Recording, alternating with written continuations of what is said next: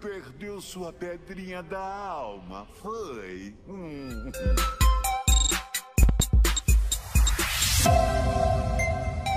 Bem-vindo uma edição extraordinária de Blizz News, do seu programa de novidades da Blend Entertainment. Galera, semana cheia de novas informações sobre a próxima expansão de World of Warcraft Shadowlands. A Blizzard ela fez um super evento onde ela revelou novos detalhes, novas informações, inclusive pela primeira vez nós tivemos acesso ao endgame de Shadowlands. Então a gente viu como é o sistema de Soulbind, a gente conheceu pela primeira vez a Gorja, a área de endgame de Shadowlands, a gente viu o Auto Chess de World of Warcraft, a gente viu novos sistemas lendários, mas também nós conhecemos os santuários dos Covenant. Galera, e hoje eu quero trazer para vocês como vão funcionar esses santuários, que é um dos principais conteúdos de Shadowlands. Na verdade, Shadowlands a gente pode resumir entre Torre de Torghast, novas customizações da aparência das raças e os Covenants de Shadowlands. E os santuários é uma mistura de guarnição com salão de classe de Legion. Calma, galera, calma. Antes que vocês se revoltem, deixa eu explicar como é que eles vão funcionar nesse vídeo. Então vamos dar uma olhada o que são, como são e por que, que eu tenho que me importar tanto com os santuários dos Covenants de Shadowlands. O No é um programa que trabalha para deixar os seus jogos online muito melhores e muito mais rápidos, diminuindo a latência MS dos MMOs acabando com os desconects e o lag das suas partidas online. E agora o NoPing tem uma nova ferramenta que além de tudo isso também aumenta o seu FPS sem precisar pagar nada adicional. E sabe o que é o melhor? Você pode testar o NoPing de graça, sem pagar nada por 7 dias e se gostar pode pagar 30% mais barato. O que, que vocês vão ter que fazer? Aqui embaixo vai estar um link, vocês vão clicar nesse link, vão baixar o programa, vão fazer o cadastro, vão usar o cupom LORDMOES. E sempre que vocês usam o Ping, vocês vão estar me ajudando pra caramba aqui no canal. Para o meu povo, a pergunta é: Por que, que você não está usando o Doping? Galera, antes de começar, Nesse evento, ela falou sobre muita coisa. Então, como é que eu vou fazer? Cada dia eu vou fazer um vídeo sobre dos assuntos que foram revelados. Então, vai ter um vídeo só sobre lendário, vai ter um vídeo só sobre Soulbind, vai ter um vídeo só sobre Autochess, vai ter um vídeo só sobre a história, porque tem muita informação. Inclusive, que o Arthas está de volta. Sim, galera, nós devemos encontrar o Arthas na Gorja. Muita coisa. Então, cada dia tem um vídeo especial para vocês. Mas vamos lá. O que, que é o Santuário dos Covenant, galera? O Covenant basicamente é uma evolução do sistema de reputação de facção de World of Warcraft. Na próxima expansão vão existir quatro Covenants. A gente tem os Venti de Heavendred, a gente tem os Kyrios de Bashel, nós temos Nightface de Otherwild e nós temos também os Necrolords de Maldraxxus. Só que diferente como a gente está acostumado hoje em dia, que você escolhe, você faz reputação de todas as facções, agora o Covenant Cada Covenant vai te dar uma experiência diferente de jogo. E o jogador ele só pode escolher um dos Covenants para ele jogar. Mas como assim uma experiência diferente de jogo, Colex? Não entendi. Cada Covenant vai liberar para o jogador novas armaduras, novas montarias, novos itens cosméticos, novos poderes, tanto de dano e de cura como de utilidade, um Soulbind que muda completamente a maneira como você joga com o seu personagem, vai ter uma história diferente para cada um dos Covenants e muitas outras coisas. Então, na verdade, escolher o Covenant é decidir como você vai jogar com o seu personagem. Por isso que eu falei que é parecido com um salão de classe. É como se cada Covenant fosse um salão de classe, só que um pouquinho mais expandido. E além disso, os Covenants, eles têm quatro prédios importantes. Três prédios são iguais para todo mundo e um prédio é especial para cada Covenant, ele é diferente. Eu tô aqui para falar para vocês como funciona o santuário. O santuário é a base de operação do seu Covenant. É onde jogadores que escolheram aquele Covenant, eles vão se encontrar. Só que na verdade, é aqui que o jogador vai passar a maior parte do seu tempo. Porque é aqui que vai ter a mesa de missão, que vai ser o Auto Chess. É aqui que o jogador vai trazer as almas que ele recuperar. É aqui que ele vai continuar a história dele. Então é aqui. Não é na verdade em Oribus, que é a capital, o jogador vai ficar mais tempo. Ele vai ficar mais tempo aqui no seu college. E aqui também, o jogador e o, o santuário do Covenant é essa base de operações. É uma área exclusiva onde só pessoas daquele Covenant podem entrar.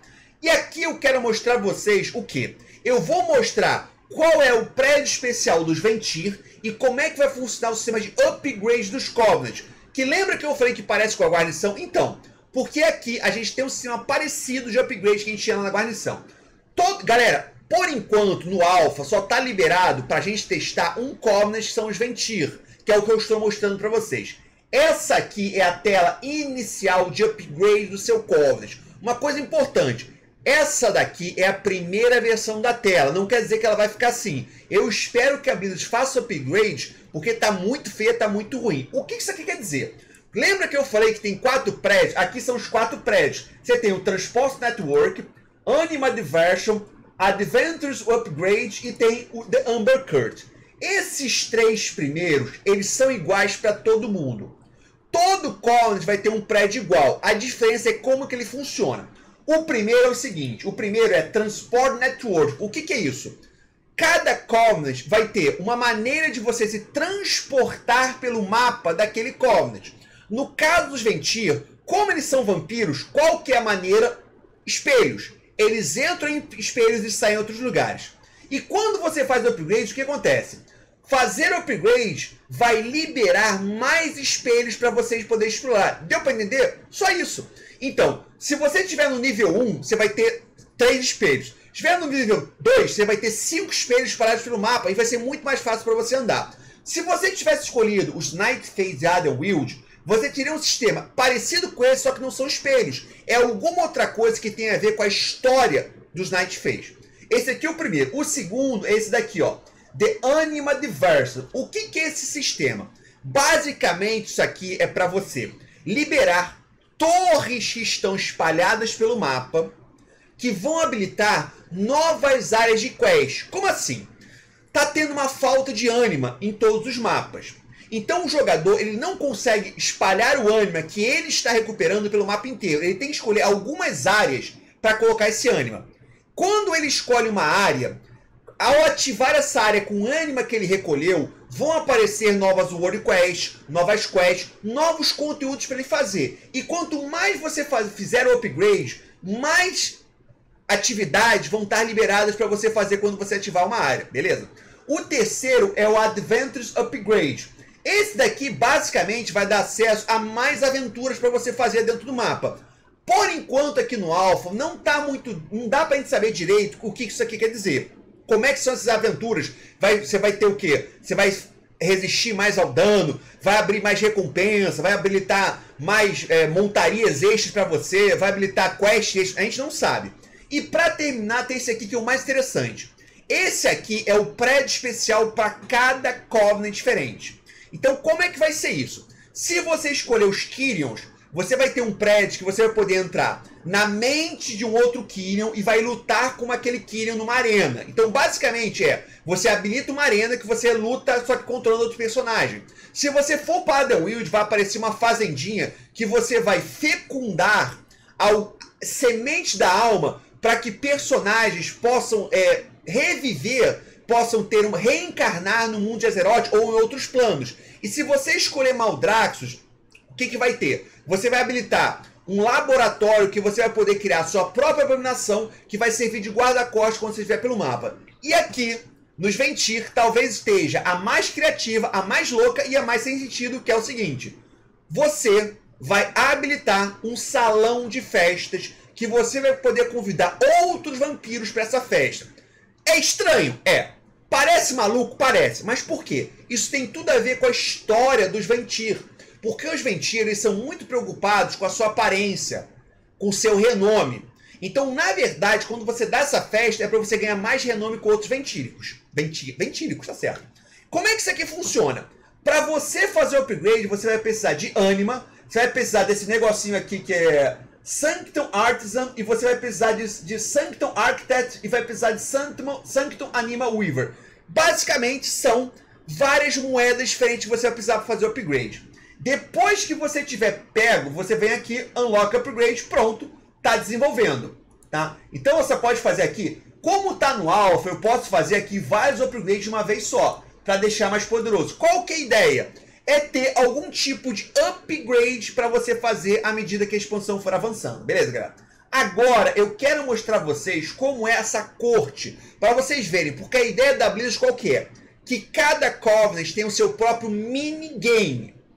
Então, se você é Bastion, como eu falei, você vai entrar numa arena e vai ter que lutar contra inimigos. Se você for do Maldraco, você vai criar o seu próprio abominação e vai fazer quest com essas abominações. Aqui dos Ventíricos, para você dar a festa, você tem que convidar as pessoas. Depois, você tem que lutar para que aqueles penetras que estão tentando entrar não entrem. Você tem que gerenciar a festa. Cara, até falando fica meio estranho, mas tudo bem. É um minigame. Você precisa fazer? Não, você não precisa fazer nada disso, só se você quiser. Mas vamos dar uma olhada como é esse minigame aqui da corte que a gente tem aqui em, em Shadowlands com os ventíricos. Ventírico fica estranho, né? Galera, aproveitando, tem um outro detalhe que eu não falei para vocês que é importante, que é o seguinte. Cada Covenant tem a sua própria moeda diferenciada. Como assim, Codex? Não entendi. Além daquelas moedas que a gente vai precisar para fazer o upgrade, Cada Covenant, quando você for para o mapa para fazer as suas World Quests, ele vai te dar uma moeda diferente. No caso aqui dos Ventírios, são os rubis imbuídos. Por que isso? Porque cada um tem a sua própria história. E até por isso, uma pergunta que muita gente me faz. Codex, eu vou poder trocar de Covenant a hora que eu quiser, porque eu escolhi o Ventir, mas eu percebi que eu não gostei dele. Agora eu quero ir para The Wild. Então, essa pergunta é um pouquinho complexa. Por quê? Você trocar de Covenant vai ser fácil. Você vai poder trocar a hora que você quiser. Agora, você voltar para o Covenant que você já esteve vai ser difícil. Como difícil nós não sabemos. Mas a Blizzard quer. Você pode trocar a hora que você quiser, mas voltar para um que você já estava, aí vai ser mais complicado. Eu estou entendendo que isso vai acontecer por quê? Porque você vai perder todo o progresso que você fez com aquele Covenant, vai ter que começar tudo de novo. Eu estou entendendo que vai ser assim. Por isso que, teoricamente, seria difícil você voltar para o Covenant que você já estava. É isso que eu estou entendendo. Mas não é confirmado ainda, a gente tem que esperar um pouquinho mais para a Blizzard explicar. Até porque muita gente está reclamando que não, é, não pode ser difícil, porque... Vamos pensar o seguinte, você escolheu o Kyrian porque você achou ele bonito. Só que só depois de um mês você realmente entendeu o que é o Covenant. Porque como vocês perceberam, a escolha do Covenant é uma coisa muito importante, muito importante. Ela define como é que você vai jogar em Shadowlands. E o jogador vai ser obrigado a escolher um cover no primeiro dia de jogo e depois ele percebe que errou. E aí ele, ah, e depois ele joga com o outro e não, mas eu acho que o primeiro é realmente melhor. E aí você vai ter que perder tudo, começar tudo de novo. Então pode ser que a Blizzard mude isso um pouquinho mais pra frente, mas por enquanto tá assim. Pinga de mim! Pinga de mim! Nessa casa tem. Vamos ver. Ah, vai travar agora. Ih, ih, ih, ali, ali, ali. Ali.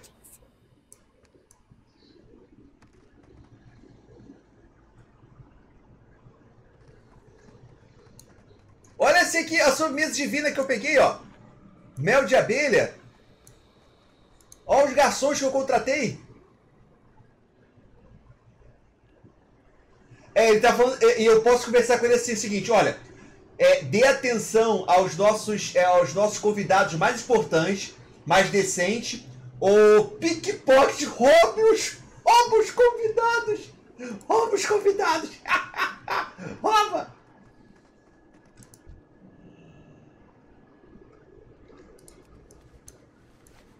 Mandei roubar os convidados.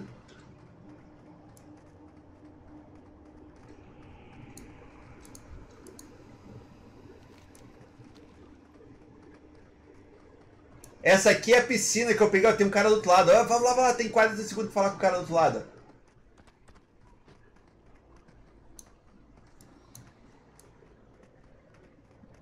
Que isso? Ah, é que eu convidei. Eu, eu, eu peguei um contrato para ter coisa mais. É, coloca um show para entreter os convidados ou conte histórias relaxantes de, de, conte histórias de Revendreth, contar história de Revendreth, que a gente é orgulhoso. Ou pro outro ali, outro ali, outro ali. Tem um cara pra eu bater ali. Ah, é que eu penetra. É, duele os, os convidados, mas não mate eles ou é, guarde o perímetro. Guarde perímetro. Ah, é porque eu peguei um contrato de coisas selvagens, então tem animais aqui. Que legal! Estão chegando, estão chegando os convidados, estão chegando. Quem tá chegando? Tem o raro? Tem o raro. Ah, Lady Vash!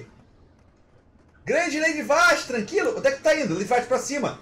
A festa é aqui em cima, Lady Vash. A festa é em cima, Vash.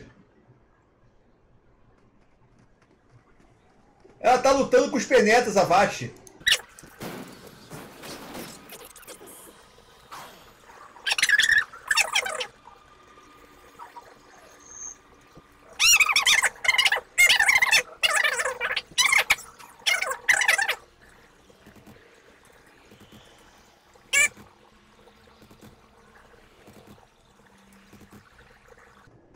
Rapaz! Aí eu não vi o Mograine, cara. Será que só pode vir uma pessoa por festa? E a Lady Vash não ficou feliz. Eu não ganhei recompensa nenhuma porque a Lady Vash não ficou feliz. Galera, seguinte, agora eu vou ter que ser bem sincero com vocês. Porque quando eu tava gravando esse vídeo, que eu tava gravando ele ao vivo, a primeira vez que eu fiz essa festa, essa corte, eu não sabia exatamente o que ela era, porque eu não tinha feito antes. Mas, tipo, depois que, ela, que eu fiz, galera, é muito melhor do que eu pensava. Cara, é bem divertido. É um minigame com vários é, eventos, várias coisinhas acontecendo que dependendo do que você que fizer, você pode, você pode melhorar, você pode mudar a festa. Só para dar um, só para é, é, é, resumir aqui para vocês é basicamente o seguinte: você dá a festa e essa festa tem vários, é, várias coisas acontecendo. Você pode ter um convidado que prefere uma festa mais formal e outro que prefere uma festa mais tranquila. Você pode ter um convidado que prefere uma festa zona total, com, com briga entre os convidados, e outro que prefere uma festa com nada acontecendo, mais tradicional. E dependendo do que você fizer, você muda isso, você transforma a festa mais casual, mais formal, mais, mais, é, mais livre, mais é, é, controlada, mais pancadaria. Você que decide o que acontece.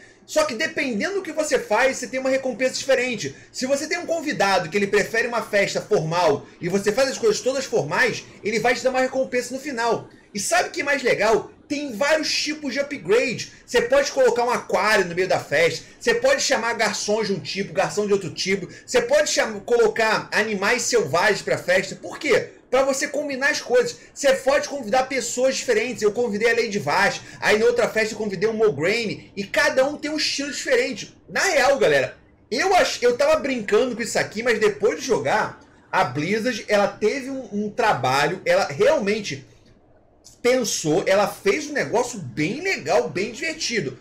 Não sei se é um tipo de conteúdo que a gente vai jogar durante a expansão inteira. É um daquele tipo de coisa que você acha legal uma vez, duas vezes, depois nunca mais faz.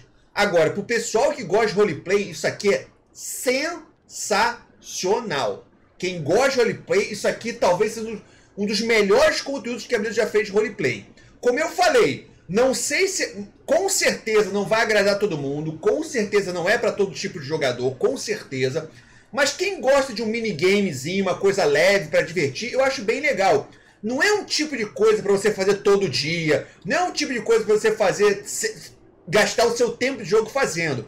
Mas você fazer uma vez por semana, uma vez por mês, cara, eu me surpreendi. Eu achei tão legal, tão legal, que depois eu vou fazer um vídeo separado só mostrar vocês como é que foi a minha experiência fazendo a minha festa. para vocês verem como é que eu tava me divertindo. Eu vou deixar um vídeo só pra festa. Mas então, galera, esse aqui é o santuário do Covenant dos Ventir que eu tava mostrando pra vocês. Na verdade, o vídeo era para falar sobre o, o Santuário dos Cobras, mas eu me surpreendi tanto com isso aqui que eu. Cara, legal, gostei mesmo, gostei mesmo. Então, esse aqui é o Santuário do Covenant dos Ventir. Cada Covenant tem o seu santuário diferente, com cada um com um tema diferente e cada um também com um minigame diferente.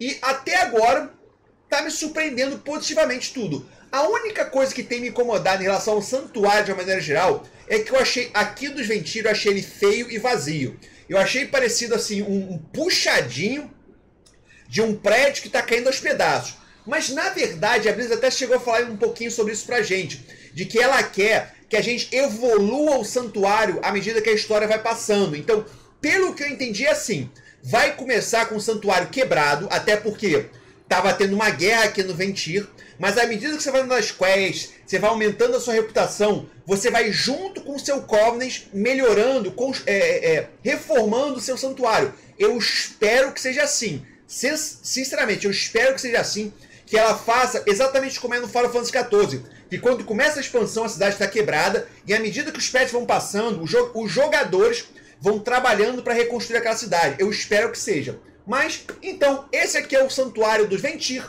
dos Covenants da próxima expansão. E galera, para terminar, porque aqui no Codex o mais importante sempre é a opinião de vocês, mas vocês, o que, que vocês acharam do Santuário dos Covenants da próxima expansão Shadowlands? Vocês gostaram dos santuários? Vocês gostaram da história dos santuários? Do conceito de santuários? O que, que vocês gostaram nele e o que, que vocês não gostaram? O que, que vocês gostariam que tivesse santuário? Vocês gostariam que o santuário ele fosse como ele está agora, um híbrido entre a guarnição e salão de classe. Você preferia que ele fosse mais salão de classe? Você preferia que ele fosse uma outra coisa? Você preferia que nem tivesse, que acho que não tem nada a ver isso? Os jogadores têm que ficar só em órgãos, não tem que ficar espalhados pelos santuários. O que, que vocês gostaram, o que, que vocês não gostaram? E se vocês puderem dar sugestões para melhorar os santuários, deixe como dar sugestão aqui embaixo, não sei sobre o assunto. Codex, muito obrigado por assistir. Você gosta do Codex? Sabia que nós criamos um sistema de assinatura em que a partir de apenas dois reais, dois reais você assina, ajuda o Codex e ganha muitas recompensas jogando com a gente? É, agora você pode. Para participar é muito fácil, é só entrar no link. E agora, atendendo a pedidos, a gente criou uma assinatura nacional que você paga em reais. Entra no link www.padrim.com.br barra Lorde Moes. Lá você vai ver vários planos, R$ reais, R$ reais, R$ reais. Todos os valores ajudam bastante. E ajudando, você ganha recompensas. Você pode ter esse nome no início de todos os vídeos do Codex. Você pode ganhar um rank especial na guilda do Codex com vantagens para os jogadores. Vocês podem ter uma sala com o seu nome no TS do Codex. Ainda podem participar de uma live com a gente ou escolher um jogo para a gente jogar ao vivo, qualquer jogo. Tudo isso mais importante, vocês vão estar ajudando a gente a continuar a fazer vídeos, trazer novidades, informações, guias, tudo sobre World of Warcraft, World of Warcraft Legion e todos os jogos da Blizzard.